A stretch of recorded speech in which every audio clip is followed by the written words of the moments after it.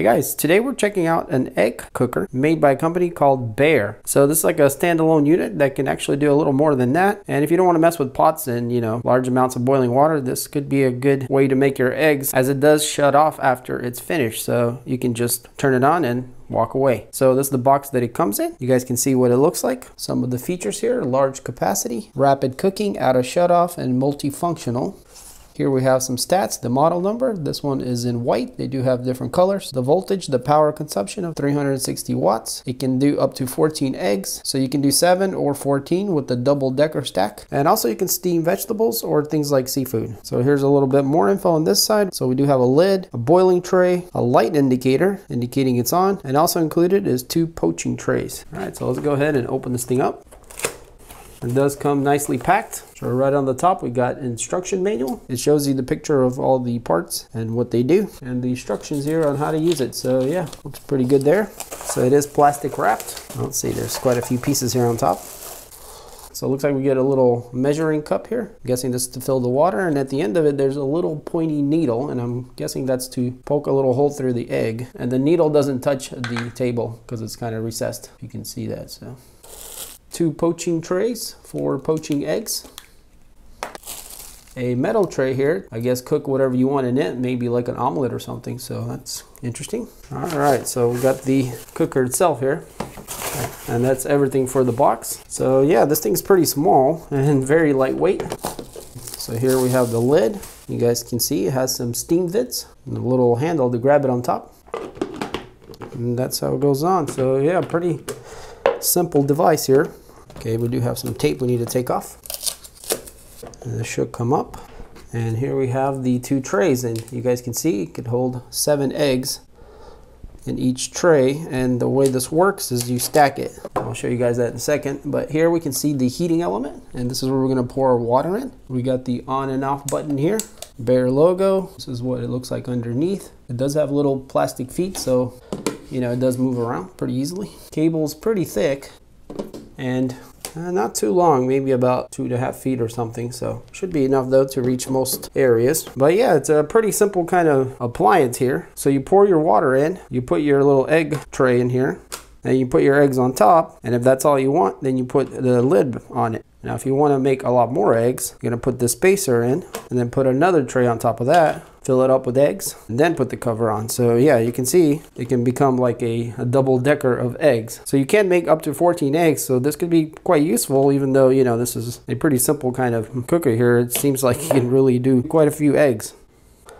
All right, so let's go ahead and try to cook something. So I got four eggs, two brown ones and two white ones. And I also got some green beans here that maybe we can steam. And we're gonna try to do it all together, see what happens. Now on this cup here, we can see there's some measurements and then on this other side there's also some indication here that says soft medium and hard so I haven't looked at the instructions at all I'm guessing the amount of water that we put in there is going to matter how much the eggs cook so let's go ahead and fill it up somewhere around medium, maybe in between medium and hard. So I'd say maybe around here. And we're going to simply pour the water right in the cooker. All right, so let's grab one of our trays, set it on there, and then we'll put our eggs on here. I want to go ahead and use this little pin here or this needle to crack the egg and see what happens. Hopefully I don't ruin the whole thing. Let's see. All right, there it goes. So yeah, it made like a, I don't know if you guys can see a tiny little hole. And I don't know if that helps with anything, but we're gonna go ahead and try it out. I'll set one egg in the middle. We'll make one hole in one and then the other we'll just leave it. So we'll have one hole in each one. Go ahead and make it. I think you make the hole on the uh, larger side, not the pointier side. Yeah, this thing works pretty good and makes the hole. All right, so we got our eggs in. Let's go ahead and put our side spacer on. And then we'll put our other tray on top of that. And then we'll set these green beans on the tray here. So let's see, will they fit in there? You have to break one of them in half maybe. A couple of them are a little long, but they do fit. And yeah, simple as that. We got the green beans on here on the upper level and then our eggs on the bottom level. So that should be good. Let's go ahead and cover it up. And now we can turn it on by pushing this button here. Let's see what happens. Okay, so there is a little light right here. You guys probably can't see. But yeah, there it is. You can see that little light right there, right above the button. Showing that it's on. So it should start heating up and steaming our eggs and then also our green beans. Well, I guess I didn't put all of them in there. Here we go. And let's see what happens. So I can see it's already steaming up. So I'm gonna time it and see how long it takes until it's done. So it should shut it off when it's finished. Yeah, it's already uh, making a boiling sound. So let me bring my mic in.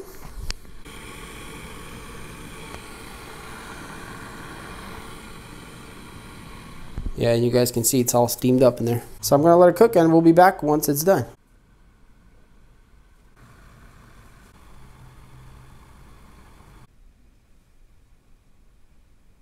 All right, so it's been exactly 10 minutes or right at it, pretty close. And it looks like it ought auto shut off. We should have everything cooked in there. You guys can see there's quite a bit of condensation on the top and it is quite hot. And I can definitely smell the green beans. We're gonna go ahead and let them cool off a bit here to the side. And let's go ahead and see what our eggs look like. So eggs look pretty good. It looks like one of them had a little crack right here. You guys can't see, but yeah, they're very hot. So I think we need to go ahead and throw them in this cool water right away. Let's see if I can do this. A little napkin here. There we go. And the reason we want to cool them in this cooler water is because we want them to cool the outer shell so the shell itself doesn't stick. But if you guys saw that, I don't know if you did, but the light came on and it turned back on. So it's, I guess it's temperature sensitive. So because it felt like it was cooler, it automatically turned on, which is interesting. But So you guys can see we do have a little bit of staining inside there from the green beans, which should clean up pretty easy, I would think. And now out of curiosity, I'm just wondering if we pour a little bit of water in here, what happens? Okay, so it doesn't turn back on. I was hoping that it would not. Okay, so whatever that was, I guess it wasn't completely finished or maybe it was like a keep warm thing or something. But, well, actually, no, it does come back on. So whenever it feels like there's water in there or it's cooler, it does come back on. And you guys can see that. So I'm going to go ahead and shut it off. So it's smart enough to stay off when there's nothing in there, but when you do pour something back in, it does come back on. So, but yeah, guys, as you can see, that was not very difficult and there's not much to really clean up. I mean, this should be very easy to clean up with just a napkin once it cools off. And then these you just rinse out and they're good to go. Now let's see what these green beans look like. I'm kind of curious. So they seem to be cooked. They're flexible. I'm gonna go ahead and try one. Oh yeah, they're definitely cooked perfectly actually. They still have a little bit of crunch, but definitely cooked. Very nice.